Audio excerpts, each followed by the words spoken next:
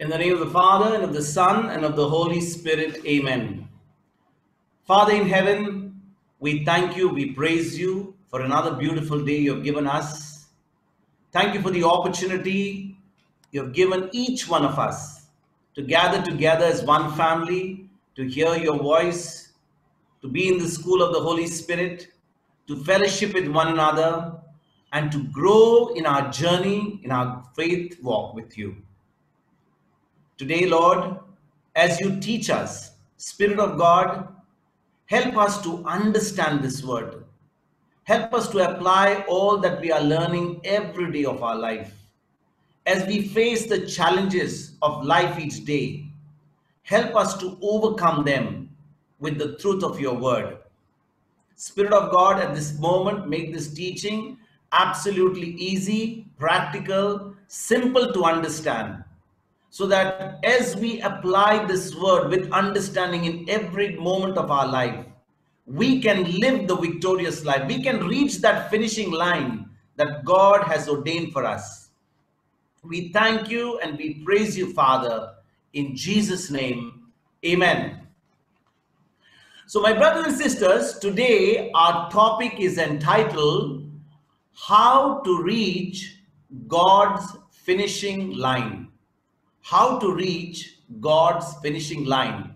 And you know, brothers and sisters, we, each one of us, without fail, every single person on this world has been put on this planet Earth in order to bear the fruit that God wants us to bear. We must understand that God has put us not just to live on this earth maybe for 50 years, 60 years, 70 years, maybe even 100 years, maybe like Moses, even 120 years. And after that, we should all be finished and gone, and that's the end of us. No, God has put us because He wants to live with us for all eternity. He has created us in His own image and likeness, and therefore, God does not want anyone to be lost. That's what it says in John 3:16, God so loved the world that he gave his only son so that all those who believe in him may not perish but may have eternal life. And you know brothers and sisters, although it is God's will for us to be saved, the truth is not many people are going to walk the narrow way. We have seen that in the past. Not many people want to really walk the way of God and reach that finishing line so that we can actually spend time for all eternity with God. And that eternity does not start after we die, it begins right here on earth. We must remember, brothers and sisters, our eternity is not when we physically die from this earth and when everyone says, Rest in peace, he's gone to be with the Lord if we are not with the Lord right now, we are not experiencing that heaven here on earth right now, if we are not experiencing that victorious life with Christ right now, we are only deceiving ourselves that when we die, we will all go to heaven, we will be with the Lord. And that's what happens. When people die, not one person will say anything. They will say, Oh, he's gone to be with the Lord.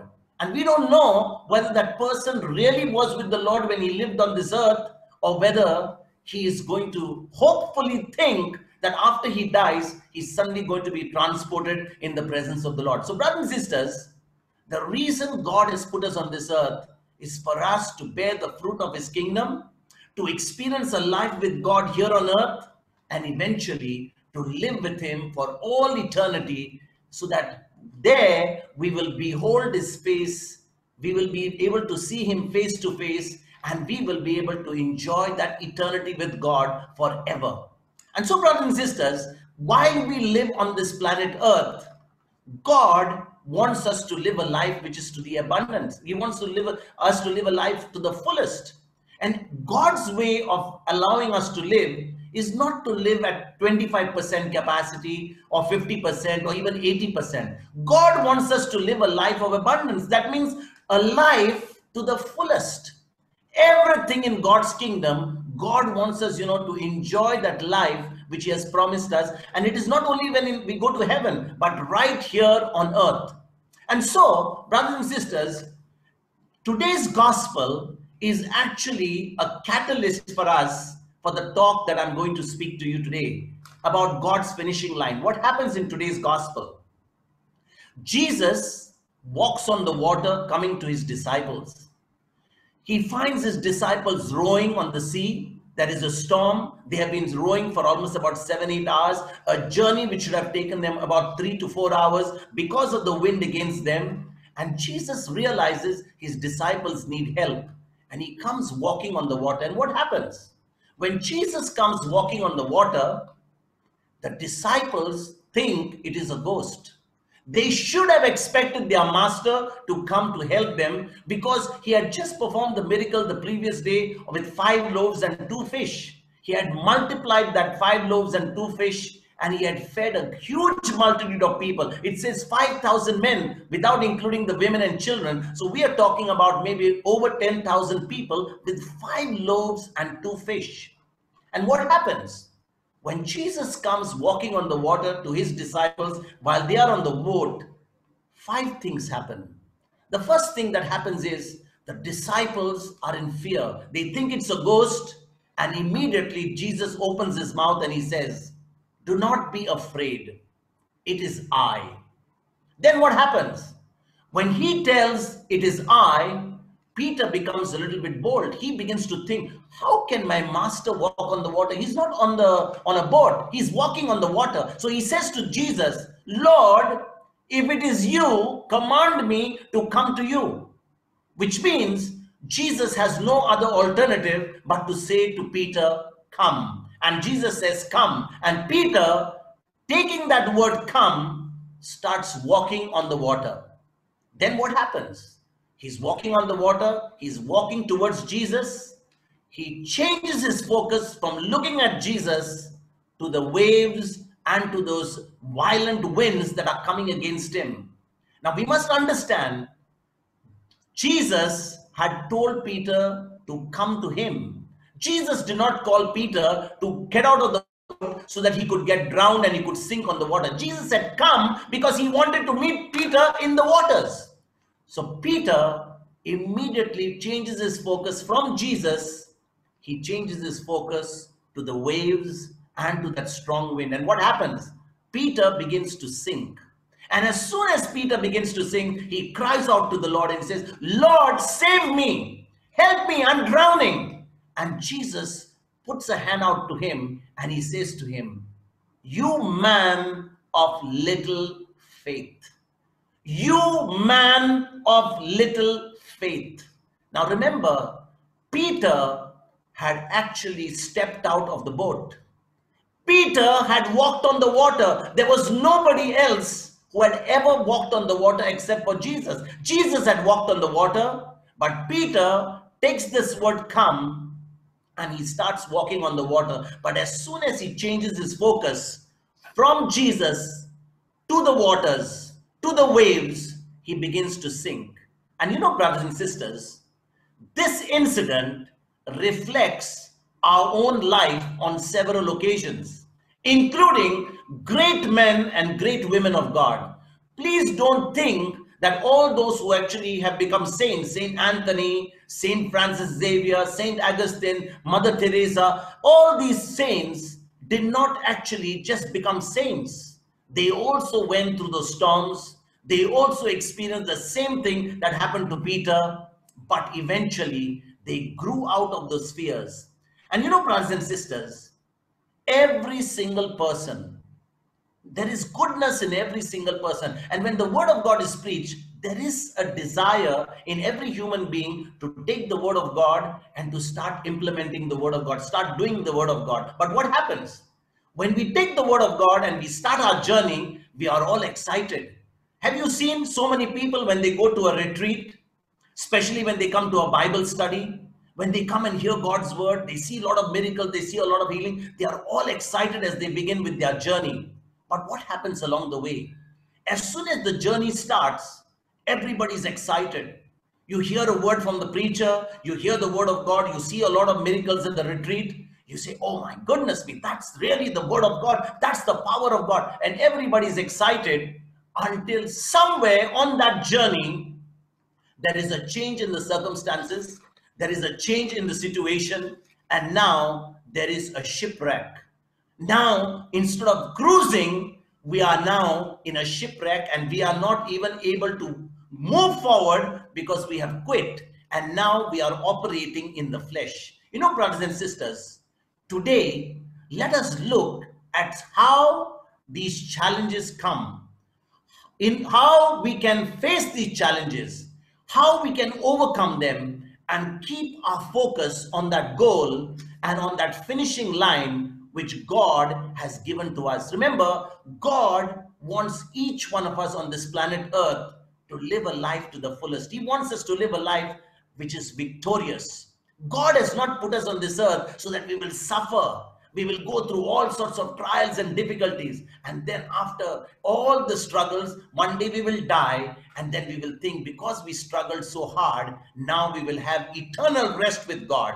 If we are thinking like that, it is a it is a thinking which is of which is a very which is a very deceiving thinking because people who think that way are totally deceived Remember, a true believer of the Lord Jesus Christ, even though he's going through persecution, even though he's going through a lot of trials, even though he's going through a lot of difficulties, the joy that the person experiences, the peace that the person experiences, the, the victory that the person experiences is beyond what a natural person on this earth experiences. And therefore, brothers and sisters, when we begin a journey of faith, we must focus on God's word and believe it. Because when we believe it, now we are going to act according to the word of God.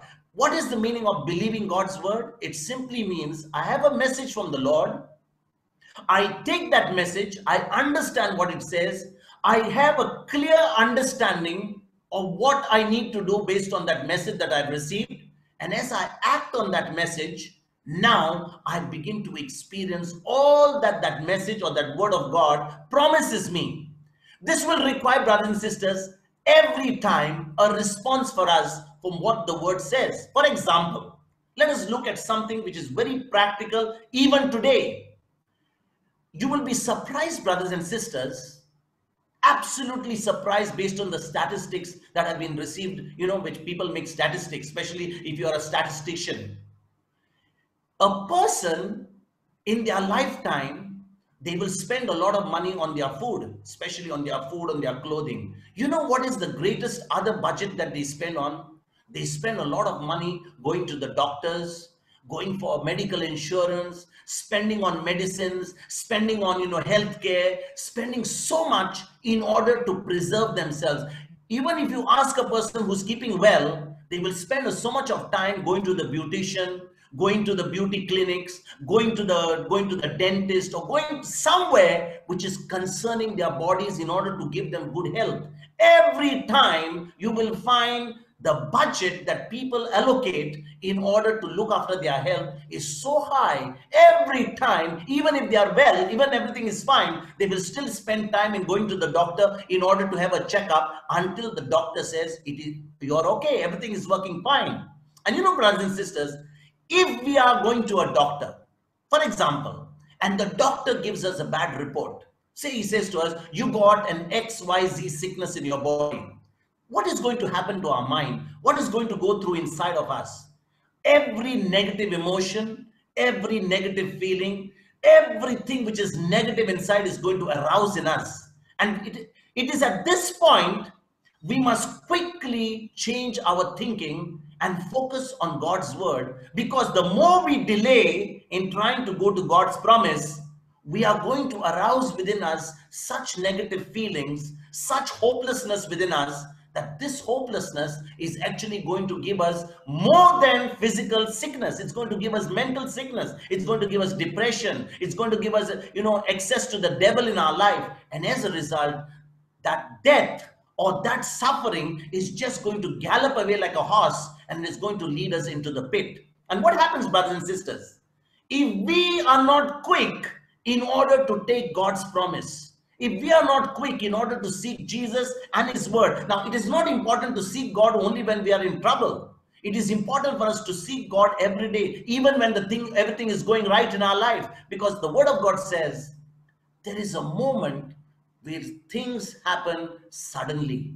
Nothing in our life just tells you that it's going to come. Any problem in our life doesn't come announced. Problems come suddenly. And therefore, brothers and sisters, as we begin to meditate God's word, as we begin to believe God's promise, for example, as I said to you, when we go to the doctor and we receive a negative report, the doctor says you got an XYZ sickness. On the other hand, God's word says in 1 Peter 2:24, by his stripes you have been healed. The word of God on one side says you already have been healed. Doctor's report says you have an XYZ sickness. Now, the moment you begin to meditate on what the doctor says, whatever sickness you have been informed now begins begins to manifest in your body it starts getting worse by the day and now you actually begin to experience that suffering that pain that discomfort in your body whereas on the other hand the word says you already have been healed it's past tense this means i have been healed irrespective of the bad report I see from the doctor, which means the report of the doctor is a lie. What I'm experiencing in my body is a lie. What I'm feeling in my emotions is a lie. But the truth of God's word is the thing that endures forever. God's word is truth, brothers and sisters. God's word does not ever change. And the, and the thing is, when I start meditating on the word, on 1 Peter 2.24, for example, in my situation of my sickness, and keep speaking the word with thanksgiving continually until my mind is come to rest, then I'm going to experience that presence of God, that peace of God in my mind. So, what is my job when I receive a bad report regarding my health? My job is to labor to keep my mind at rest with God's promise believing the truth which is not going to change. But my situation, my report, my feeling is subject to change. That is why, brothers and sisters, when we take God's word, which is the truth, when we begin to meditate on that word, we begin to speak it to ourselves all the time. What we are speaking eventually takes hold of my mind and now i begin to experience the healing power of god. I begin to experience what jesus has already done for me in my body. So every moment when i receive that bad report the word of god says i'm not supposed to come to god and ask him to heal me because god has already healed me. So if i believe the word of god i only come to the lord's presence with thanksgiving. And what do i do?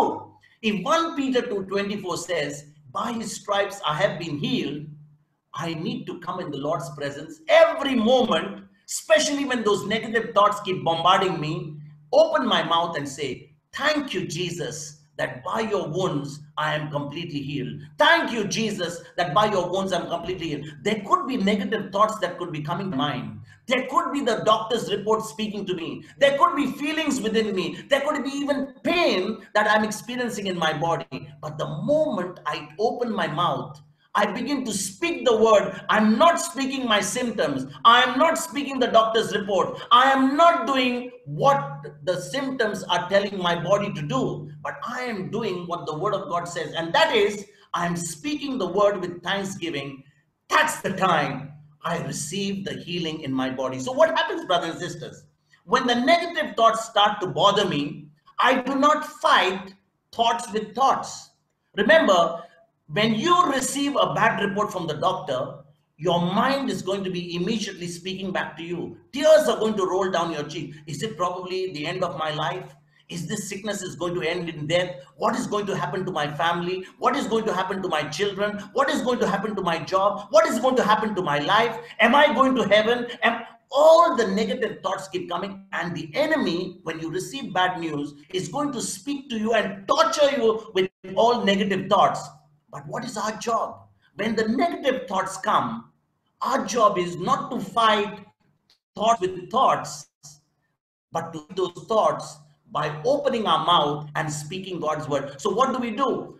When we receive the negative report from the doctor, I know I'm going to receive those negative thoughts. It is natural. Those negative thoughts are going to speak to me. But when I know that I should not fight thoughts with thoughts, I open my mouth and start saying, Thank you, Jesus, that by your wounds I'm completely healed. Thank you, Jesus, that by your stripes I'm completely healed. Thank you, Jesus, that by your stripes my XYZ sickness has been completely destroyed. Thank you, Jesus, that I live a long, prosperous, healthy, wealthy whole life.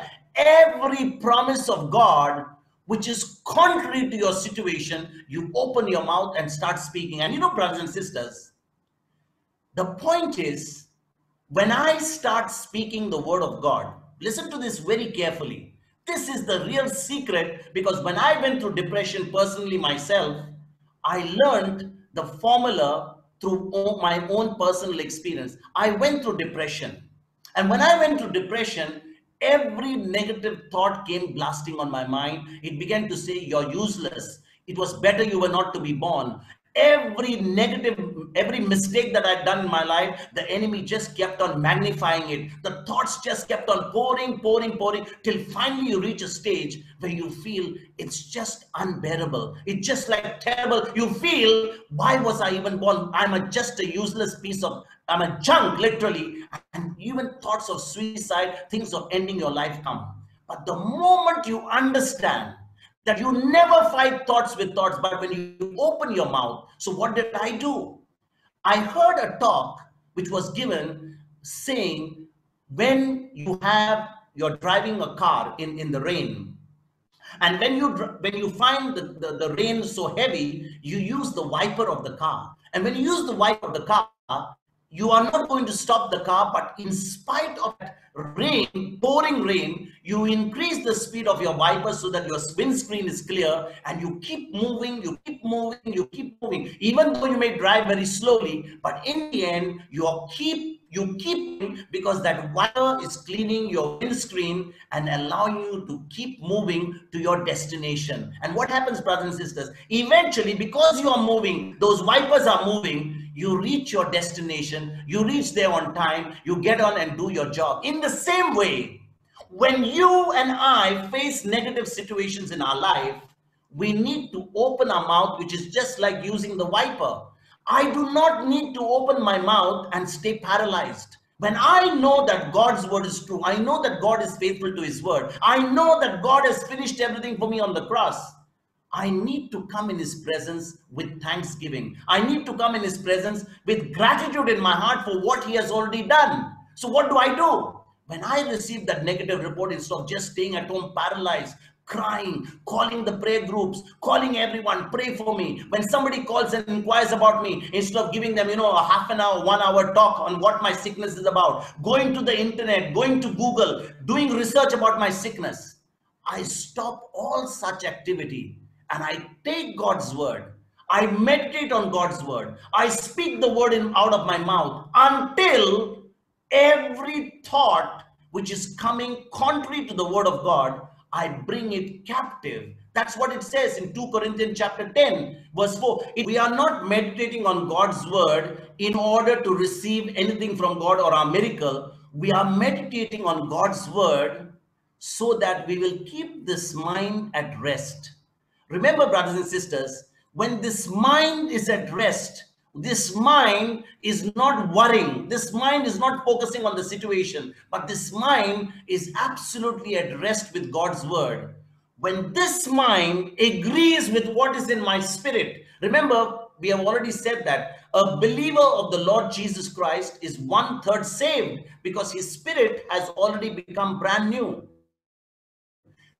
the presence of the Holy Spirit. Christ lives inside the Spirit. The day we were born new. That's what it says in 2 Corinthians chapter 5, verse 17. John 3 3. 1 John 4, uh, 1 John 4 17. So all these scriptures tell us that we are already brand new on the inside. We are already having Christ on the inside.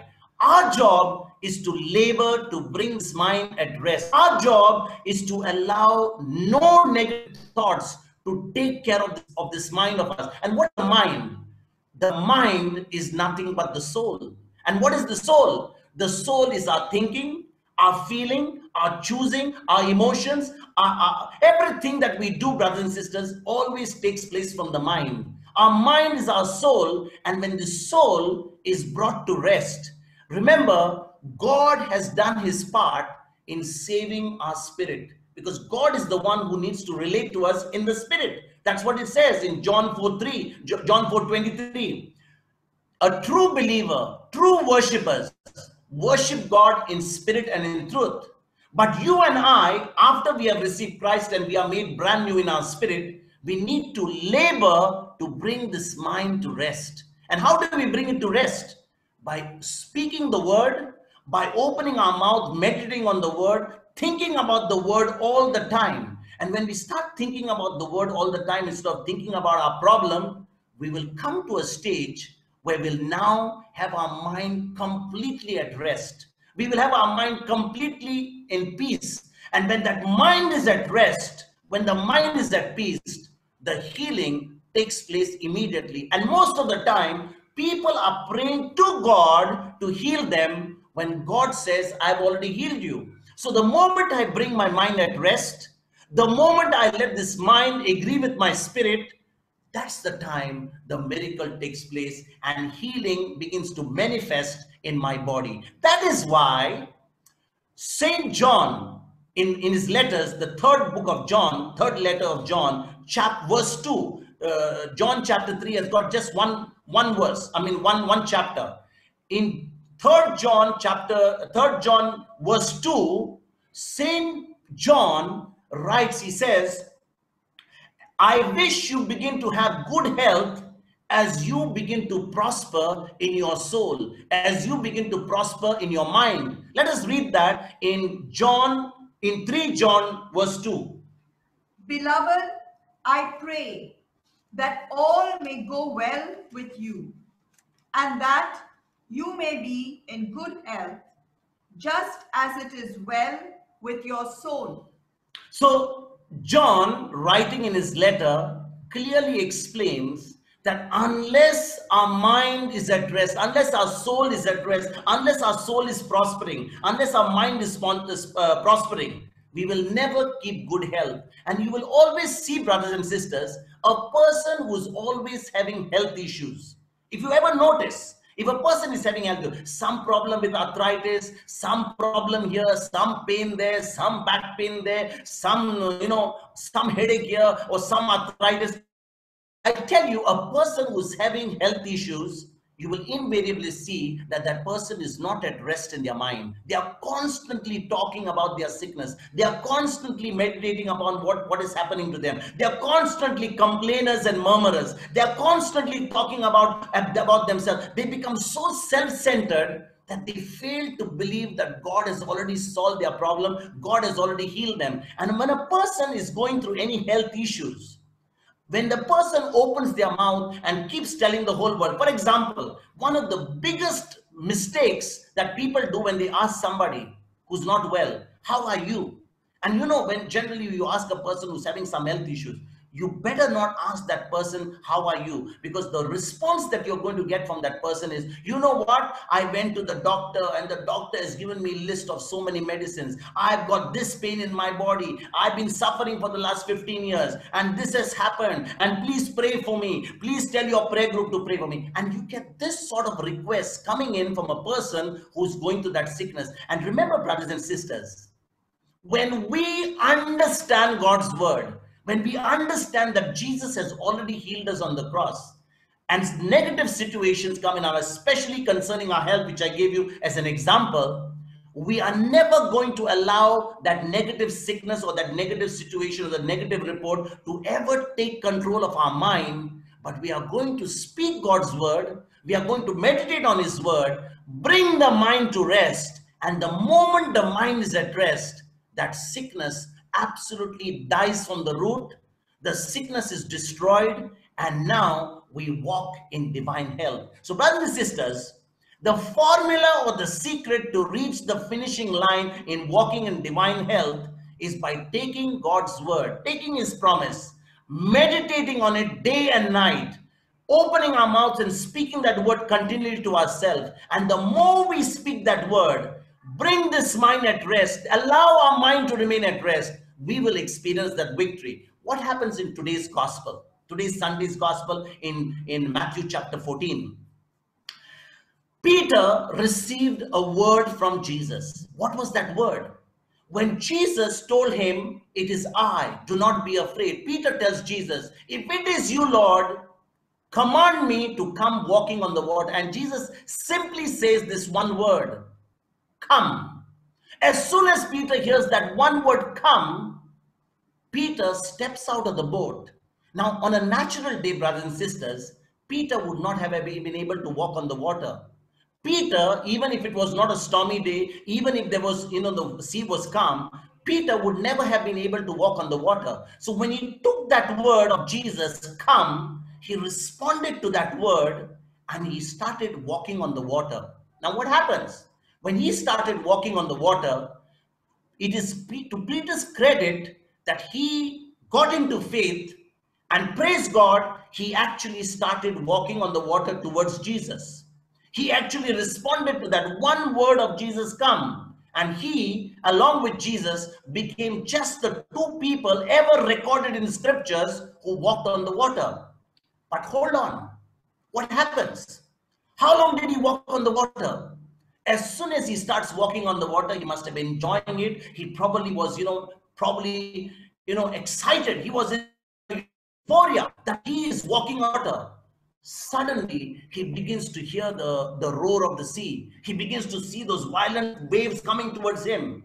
And he changes his focus from Jesus and he looks at the waves. And as soon as his focus changes, Peter begins to sink.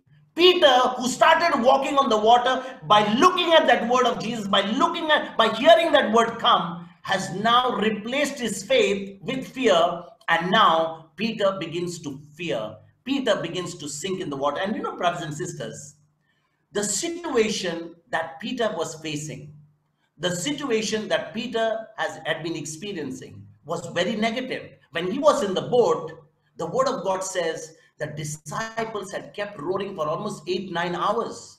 In fact, if you look at the map and see the distance between that lake, a normal journey when on a still day without any problem would have taken them three to four hours. So they were roaring against the wind and they must have been physically tired.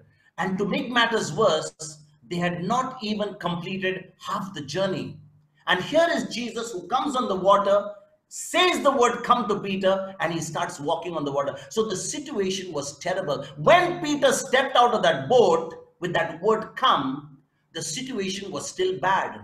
The sea was roaring, the winds were against him, but Peter took that word come and even though the situation was negative, started walking on the water. He was in faith when he started his journey. But what happened? As soon as he changed his focus from Jesus to the sea, to the roaring of the boat of, of the waves, he now went into fear and quickly he started sinking. And you know, brothers and sisters, the same thing happens even today. Do you think that Jesus changed his word? Jesus had simply told Peter, Come. He never told Peter, Peter, you just come two steps forward and then we shall see what, what is next to be done. Jesus simply said to Peter, Come, which meant that Peter, Jesus expected Peter come right up to Jesus, meet him, hug him, you know, embrace him, or probably even fellowship with him in, on, in the middle of the sea. So, brothers and sisters, there was no change in Jesus' word. There was no change even in the situation because even the waves were still violent, the sea was still roaring. So, what was the change? What happened? The change took place in Peter's thinking. Peter changed his thinking from faith to fear and immediately started sinking. Even when Peter stepped out of the boat and started walking on the water, the wind was very strong. It was very, very terrible. So the situation was not conducive for Peter to walk even when the when the boat was still or when the when the sea was still. Imagine, uh, brothers and sisters, say there was no storm and Jesus had come walking on the water. Peter, even otherwise on a still day, would not have been able to walk on the water because nobody can walk on water. Only you can walk on land. So there was no difference whether it was a stormy day or whether it was a still day. But yet, this same Peter started his journey in faith. He started his journey with that one word of Jesus come. And now as soon as he changed his focus, he began to sink. You know, brothers and sisters, this brings us to a very important truth in our faith, in our faith journey. We could start in faith, but even if our journey is violent while we are beginning, or even if the journey at the start is calm, we need to keep our focus on God's word.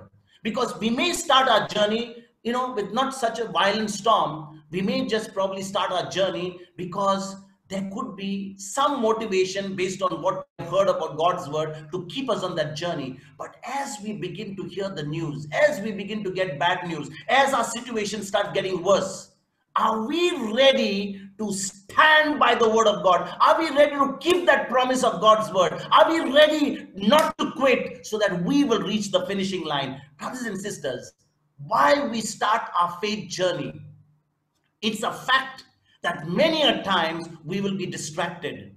We will be disturbed. We will even be discouraged on our journey. But the word of God says we are not supposed to quit. We are not supposed to give up. We are not supposed to give up halfway because Jesus never wants his people to give up their fight of faith. Jesus did not tell us to start our journey with faith and then come halfway and get drowned. God wants us to reach that finishing line. What did Jesus say to Peter? He said to Peter, You of little faith, you of little faith, why did you doubt? Why did you doubt? You know, brothers and sisters, Peter had faith. He walked because of his faith. And when he changed his focus from faith and his focus went from Jesus to the storm, his faith became zero and his fear came back to him. There is a time in our life when we hear God's word. There is a time when we go to a retreat. There is a time when we come to a Bible study like this that we are all excited with God's word. We may even note down, we may we even make a result that from today I'm going to study God's word, I'm going to operate according to God's word. But when we start our journey, that journey of faith begins very excitedly. It becomes very, you know, we are very excited. We have become very exuberant. We are really, you know, full of uh, gusto in that faith journey. But as soon as that journey starts, there are going to be challenges on the way there are going to be you know moments of discouragement there are going to be moments where people are going to come against us there are moments where the devil is going to use people against us there is going to be persecution there is going to be so many negative things coming against us and at such times brothers and sisters knowing that jesus has already told us that there are going to be storms our faith is going to be tested every person who has got faith and starts his journey of faith is going to experience a test of faith on their journey of faith. And at that very moment, we are called to bring this mind at rest. Remember, brothers and sisters, the situation may not change, our circumstances may not change, our thoughts are the ones that need to remain constant because the moment we change our thinking from the word to the situation, that's the moment we are going to sink. That's the moment we are going to lose that battle. That's the moment we are not going to reach the finishing line. And that is why the writer of Hebrews in Hebrews chapter 4, verse 6 to 10, gives us a uh, you know a recipe. He gives us a formula. He gives us a direction. He gives us the the understanding of how we need to keep our minds at rest. How we need to keep this mind constantly on God's word, how we need to labor to keep this mind at rest, our souls at rest, so that when those challenges come, we will never allow our circumstances, our situation, the bad reports that we face, the negative comments of people, the persecution that we will face on the way to distract us to reach our finishing line. Let us read Hebrews chapter 4, verse 6 to 10. Since, therefore, it remains open for some to enter because of disobedience, for some to enter it, and those who formerly received the good news failed to enter because of disobedience. Again, he sets a certain day, today, saying through David much later in the words already quoted Today, if you hear his voice, do not harden your hearts. For if Joshua had given them rest, God would not speak later about another day. So then, a Sabbath rest remains for the people of God. For those who enter God's rest also cease from their labors as God did from his. So, here, brothers and sisters, the writer of Hebrews is saying that it is not a day, it is not an event, but it is every single moment that we need to keep our minds at rest. Today, in the new covenant, there is no such thing called as a Sabbath day. There is no such thing as, you know, a, a day where you keep aside for resting. Because if you are a believer of the Lord Jesus Christ, you need to keep your mind at rest 24 7. And you know, brothers and sisters, we can go on a Sunday to church. We can go to a Eucharistic celebration. We can go to a prayer meeting. We can go to a retreat on one particular day or even three days or five days. What happens after the retreat? What happens when we get out of the church? What happens when we go to our homes? What happens when we go to our workplaces? What happens when we are out in, on, on the highway of life?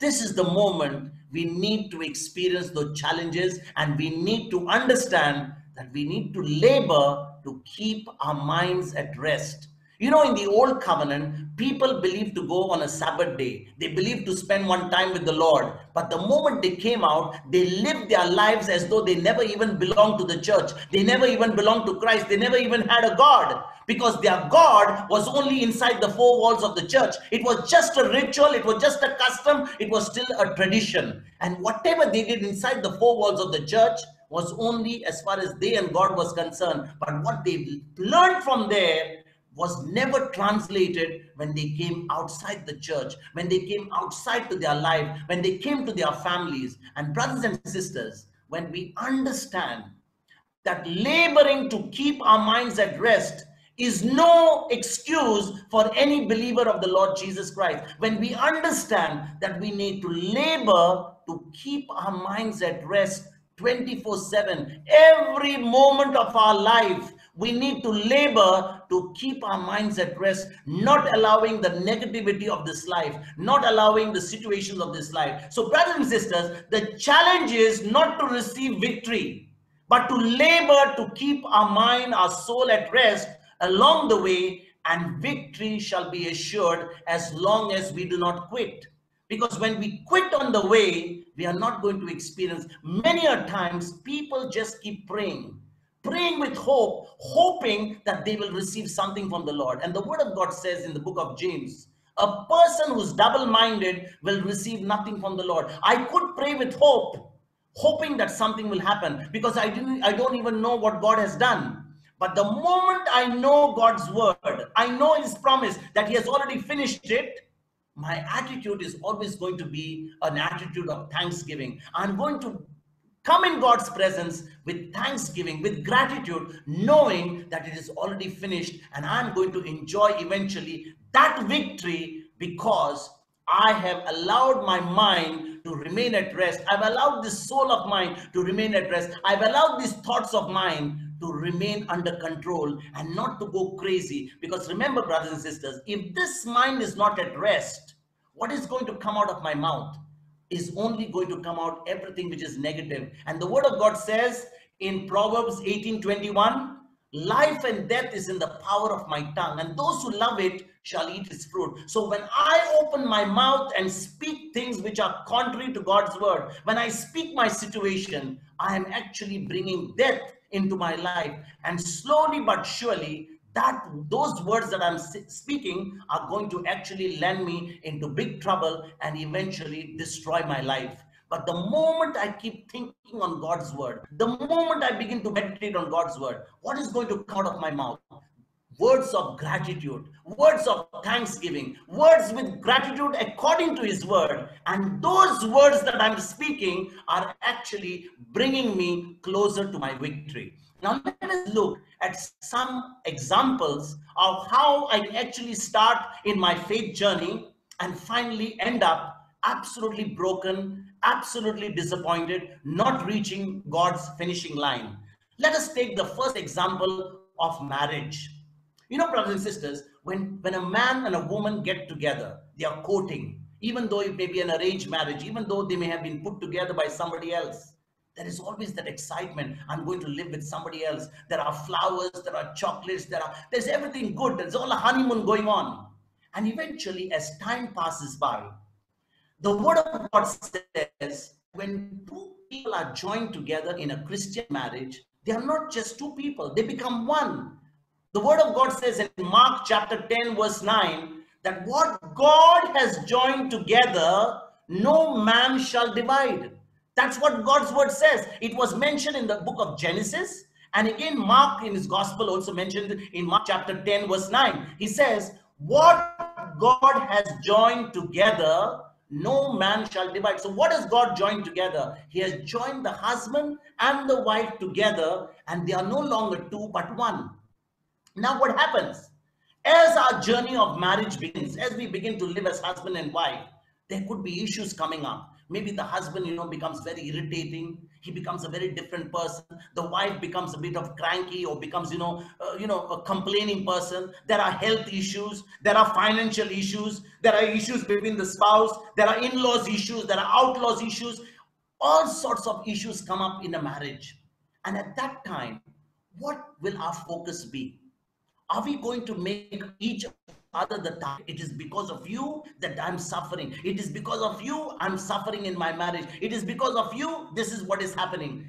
You know brothers and sisters when we keep our focus on god's word when we keep our focus on what that promise was at the beginning of our marriage because the word of god says that what god has joined together no man shall divide and if we take that promise in the midst of our crisis, in the midst of our situation, in the midst of everything negative happening in our life, and we open our mouth and meditate on this word in Mark chapter 10, verse 9, and say, Thank you, Lord, that you have joined my husband and me together and you have made us one flesh. You are our covenant partner. Lord, in this marriage, even though things are not going right, not the way we were expected at the beginning, Lord, I know that you are our covenant partner. This is not a marriage between my husband and me. This is a marriage between three people my husband, myself, and you present at that, that day when we made that covenant with you. And brothers and sisters, as we begin to open our mouth and start speaking the word, start saying, Thank you, Lord Jesus, that you have joined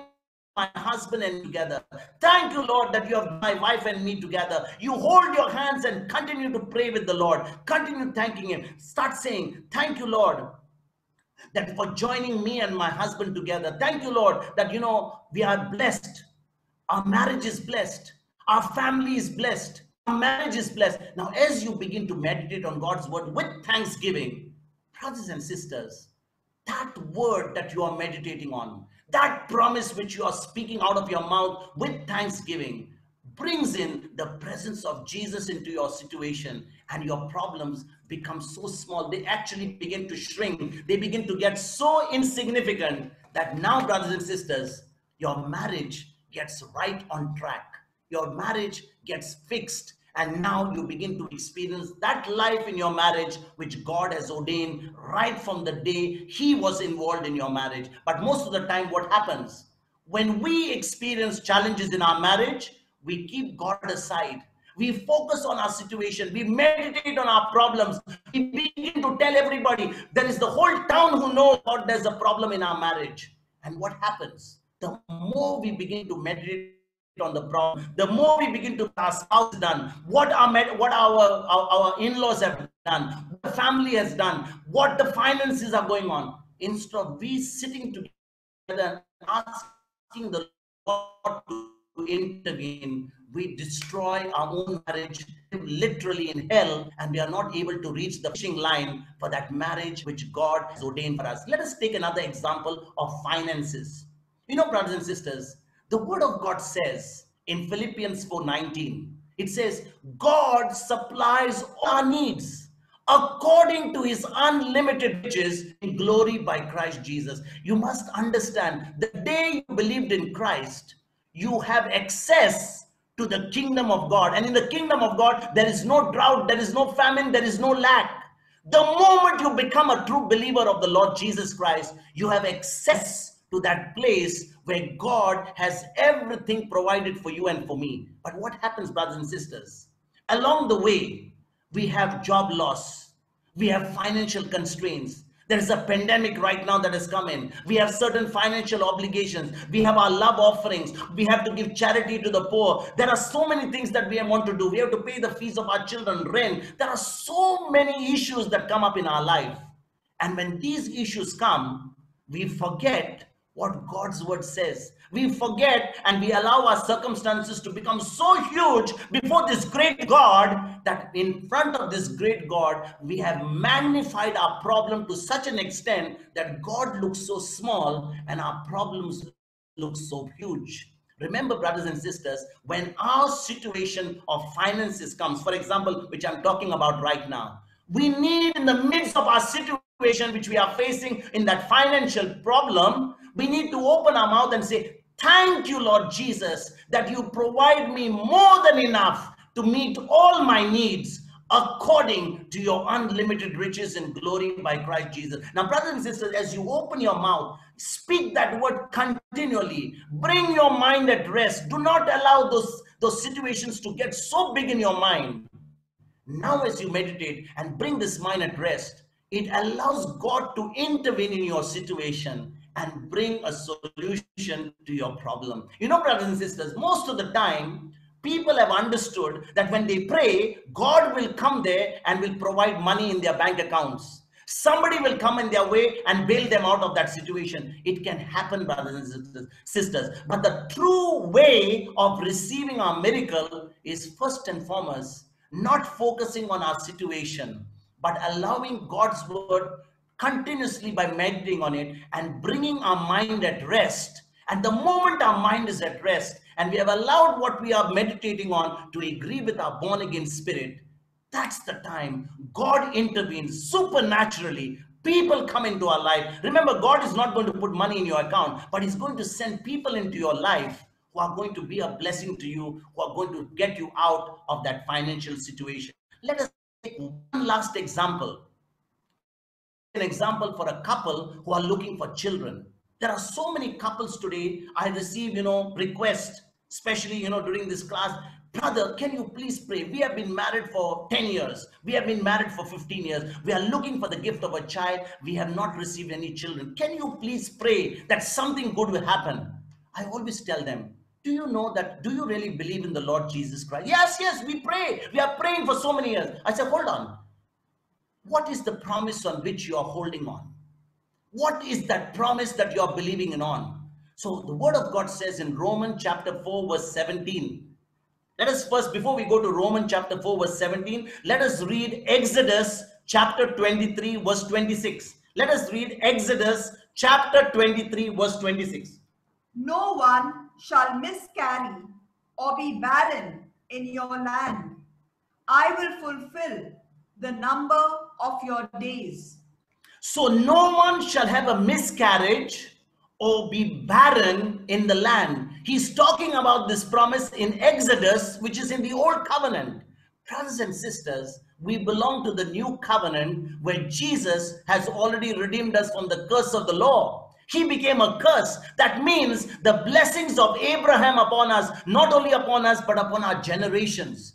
So if in the old covenant, God had promised the people of Israel that there'll be no miscarriages, that there will be no one who will be barren in the land, how much more in the new covenant? That's an Old Testament promise.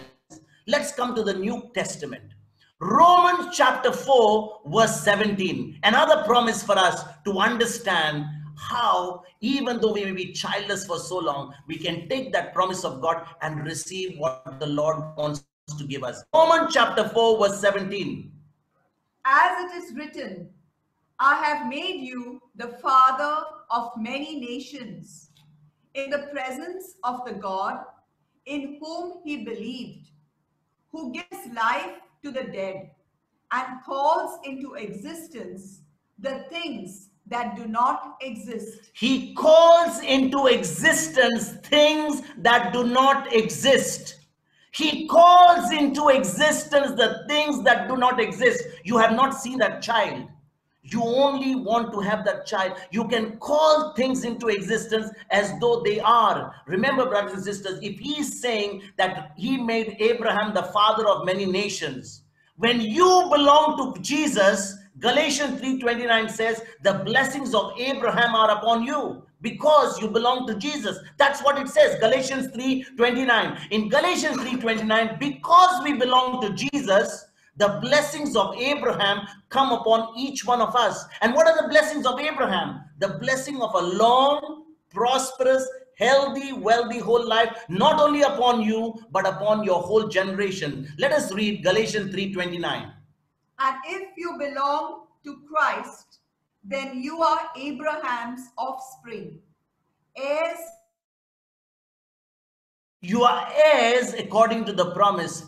Abraham is the father of faith. If you belong to Jesus, then you are a child of Abraham. You belong to all, you get all the blessings of Abraham. Did the blessings of Abraham stop with Abraham? No, they went to Isaac. From Isaac, they went to Jacob. They went to the 12 tribes of Israel. In the same way, brothers and sisters, when we belong to Jesus, we believe in his word. We believe that we are blessed that not only we are blessed but our generations are blessed.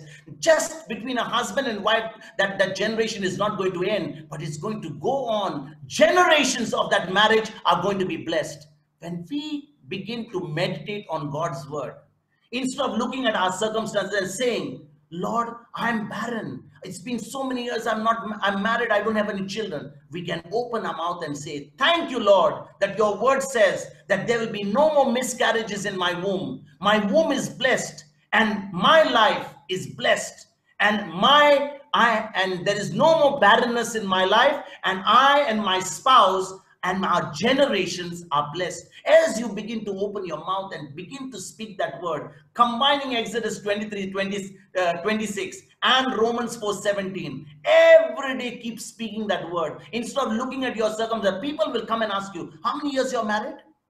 How many children do you have? And you open your mouth and you say you know we have been married but we are just going to have a child very soon. You speak your faith but instead of speaking everything negative as per your circumstances, you can actually cancel your miracle by speaking your facts. And brothers and sisters, in order for each one of us to reach the finishing line of God's word, to reach that finishing line that God has given us, we need to take God's word.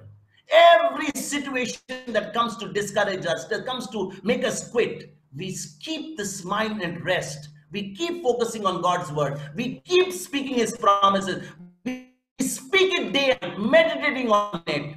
We will eventually see what God has promised us manifest in our life and give us that victory and take us to that finishing line that God has promised you and me. Let us pray. Father in heaven, we thank you and praise you for giving us the understanding of your word. You have put us on this earth to live a life to the fullest, to live a life of abundance, and not only for ourselves, but our generations. To Lord, we refuse to let our situation, our circumstances, our problems, our reports take hold of us because they are so small when we compare them with you, our great and mighty God.